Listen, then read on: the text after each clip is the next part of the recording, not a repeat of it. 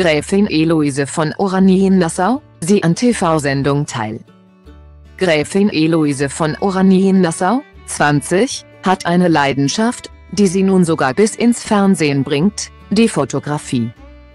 Gemeinsam mit anderen prominenten KollegInnen nimmt die 20-Jährige an der niederländischen RTL-Show Perfekte Plaatje zu DT. Das perfekte Foto teil. Bei der Fernsehsendung handelt es sich um einen Wettbewerb in einer Reiseedition. Bei der die TeilnehmerInnen jede Woche einem bestimmten Thema nachgehen und diverse Aufgaben rund um das Thema Fotografie erfüllen müssen. Das Besondere, die Promis stehen bei dieser Sendung nicht vor der Kamera, sondern müssen als angehende FotografInnen vor einer Jury ihr Talent unter Beweis stellen. Der TV-Auftritt ist nicht der erste der 20-Jährigen. Bereits im Jahr 2021 war die Nichte von König Willem Alexander 55 zu Gast bei einer beliebten Quizshow. Dort kam ihr Auftritt scheinbar so gut an, dass sie im folgenden Jahr erneut zu der Sendung eingeladen wurde. Tessie Antoni de Nassau, 37, feiert im trüben Wintergrau ihre strahlende Liebe, 18 Monate verheiratet mit meinem Mann und besten Freund jubelt sie zu einem neuen Post auf Instagram, der bisher noch nicht veröffentlichte Aufnahmen ihres dritten Hochzeitsfestes mit Frank Flössel zeigt. Tanzend, küssend, überschäumend vor Freude präsentierte sich das Paar am 30. Oktober 2021 als glückliches Duo seinen Familien und FreundInnen. Bewegt bewegende Aufnahmen des puren Glücks. Wenige Monate zuvor, am 23. Juli 2021, hatten sich Tessie und der Unternehmer bereits auf einem Standesamt in der Schweiz das Ja-Wort gegeben. Baby Theodor, 1, war damals schon unterwegs. Noch vor der Geburt feierte das Paar am 26. August im engsten Kreis seine kirchliche Trauung. Im Herbst dann nach der Taufe des gemeinsamen Kindes eine Feier der Liebe im großen Rahmen. Die dreifache Feierfreude hat das zauberhafte Bündnis offenbar nachhaltig zu gemeinsamen Höhenflügen inspiriert, und das hoffentlich nicht nur bis heute. Ende der Woche wird Prinzessin Amalia, 19, mit ihren Eltern zwei Wochen lang den karibischen Teil des niederländischen Königreiches besuchen. Am letzten Wochenende war sie jedoch noch kurz mit ihrer Mutter Königin Maxima 51, auf einer privaten Shoppingtour in Madrid. Ein Ziel mit Tradition, für die niederländische Königsfamilie hat Spanien eine besondere Bedeutung. Maxima lernte dort 1999 König Willem Alexander, 55, bei der Feria de Abril in Sevilla kennen. Seitdem reisen sie immer wieder nach Spanien, meistens privat. Im Jahr 2019 nahmen sie ihre drei Töchter Amalia, Prinzessin Alexia, 17, und Prinzessin Ariane, 15, sogar zum 20. Jahrestag ihrer Begegnung mit nach Sevilla. Bei ihrem gemeinsamen Trip gelang es Maxima und Amalia allerdings nicht, unbemerkt zu bleiben. Sie wurden im Zentrum von Madrid von der spanischen Zeitschrift Hola, gesichtet. Dabei war offenbar auch Familientollpudel Mambo. Mutter und Tochter haben eingekauft und auf einer Terrasse zum Mittag gegessen. Sie sollen dabei sehr entspannt gewirkt haben ob sie vielleicht noch einige Outfits für ihre Reise in die Karibik ergattert haben? Vom 27. Januar bis zum 9. Februar 2023 macht die Thronfolgerin zum ersten Mal mit ihren Eltern eine offizielle Reise. Die drei Royals werden Bonaire, Aruba, Curaçao, Sint Maarten, Sint Eustatius und Saba besuchen. Auf diese Reise dürfte sich Prinzessin Elisabeth, 21, besonders freuen. Gemeinsam mit Königin Mathilde, 50, wird die belgische Thronfolgerin vom 14. bis zum 16. März 2023 Ägypten besuchen. Der Anlass ist eng mit der Geschichte des belgischen Königshauses verknüpft, der Besuch ist Teil des historischen Interesses der königlichen Familie am alten Ägypten und eine Hommage an Königin Elisabeth, die mit ihrem Interesse und ihrer Leidenschaft die Blütezeit der Ägyptologie in Belgien eingeleitet hat. Wie der Hof mitteilte die 1965 verstorbene Ehefrau von König Albert I besuchte Ägypten mehrmals. Und ihre Nachfolgerin Mathilde und Namensvetterin Elisabeth werden mehrere Städten besuchen die sie während ihrer Missionen besuchte, darunter das Grab von Tutanchamun.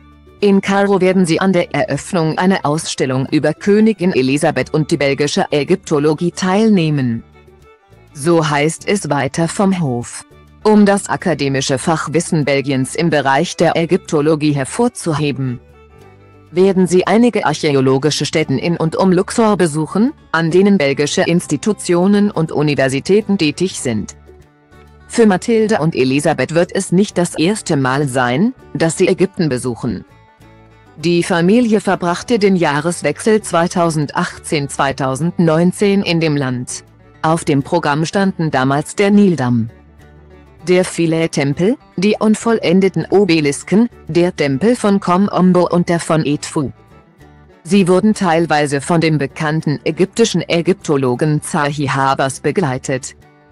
Auch während ihren Flitterwochen verbrachten Mathilde und König Philipp, 62, einige Zeit in dem afrikanischen Land.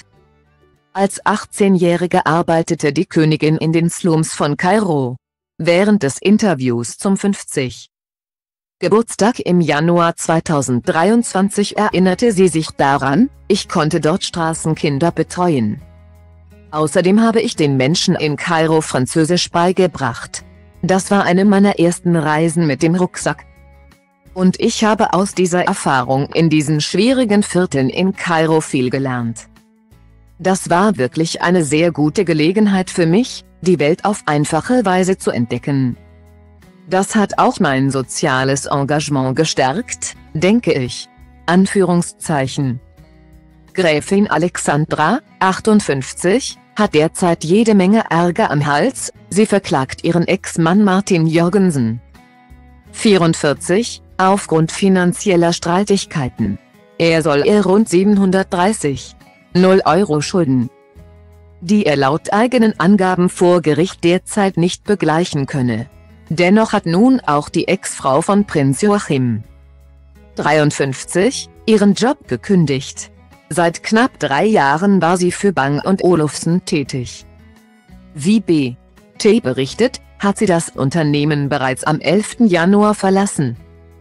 Das bestätigt die Gräfin nun selbst gegenüber der Zeitung, ich habe meine Zeit bei Bang und Olufsen sehr genossen. Das Unternehmen hat sich in dieser Zeit sehr weiterentwickelt, und wir haben die Marke B&O und ihre Produkte bei noch mehr Verbrauchern bekannt gemacht. Anführungszeichen. Ganz schließe sie die Tür jedoch nicht. Wie ihre Sprecherin Helle von Wildenrath Löfgren verrät. Wird die 58-Jährige weiterhin als externe Beraterin bei dem Unternehmen tätig sein. Habe sich aber entschieden, nicht mehr fest angestellt zu sein. Es geht darum, dass sie Zeit für andere Projekte haben will, so die Pressereferentin. Anfang Januar hat die Gräfin von Friederichsburg zudem ihre Mutter verloren. Gut möglich, dass sie sich in diesen schweren Zeiten auch eine Verschenaufpause gönnt. Dass Viktoria Romanovna Bettarini, 40, ein Herz für Tiere hat, ist kein Geheimnis. Auf ihrem Instagram-Account macht sie sich immer wieder für den Tierschutz stark und zeigt sich innig mit ihren Hunden. Doch die Frau von Großfürst Georgi Romanov, 41, hat auch einen Papageien zu Hause, und der durfte nun ihren Sohn Alexander kennenlernen. In einem kurzen Clip zeigt sie, wie das drei Monate alte Baby interessiert den Kakadu anschaut. Die Augen des Kleinen werden immer größer, ein sanftes Lächeln huscht über sein Gesicht. Vogel Gilbert scheint allerdings eher von Victorias Hand fasziniert zu sein, auf der er sitzt. Alexander und Gilbert, der Papagei, treffen sich zum ersten Mal, schreibt die 40-Jährige dazu. Wie süß. Wenn das alljährliche internationale Zirkusfestival von Monaco ruft, versammeln sich die Mitglieder der Fürstenfamilie. Eine fehlte jedoch am vergangenen Wochenende, Fürstin Carolene von Monaco, 44. Schwänzte offenbar den Auftritt beim Herzensprojekt ihrer Schwägerin Stephanie von Monaco. 57. Dieser ist seit 2006 Präsidentin der Veranstaltung, die einst von Fürst Renier 81, gegründet wurde am Sonntag, 22. Januar, dem dritten Tag des 45. Zirkusfestivals. Posierte Fürst Albert, 64, mit Stephanies Kindern Louis Ducrut, 30, und Camille Gottlieb, 24, für die FotografInnen. Doch während der Fürst von Monaco seine Zwillinge Prinzessin Gabriella und Prinz Jacques beide acht, mit zu dem Termin gebracht hatte und die Familie auf den Fotos in die Kamera lächelte. Fehlte seine Frau Carlene auf den Aufnahmen. Warum die Fürstin nicht anwesend war, ist bisher nicht bekannt. Einen Solo-Termin hatte die 44-Jährige an jenem Sonntag nicht. Eigentlich hatte Carlene im vergangenen Jahr ihr öffentliches Comeback gefeiert. Nachdem sie zuvor mit gesundheitlichen Problemen kämpfen musste und sich zurückgezogen hatte. Sie haben News verpasst, die Royal News der letzten Woche lesen Sie hier. Verwendete Quellen, Getty Mageste, Instagram.com, BTDK, Dana Press, Hola.com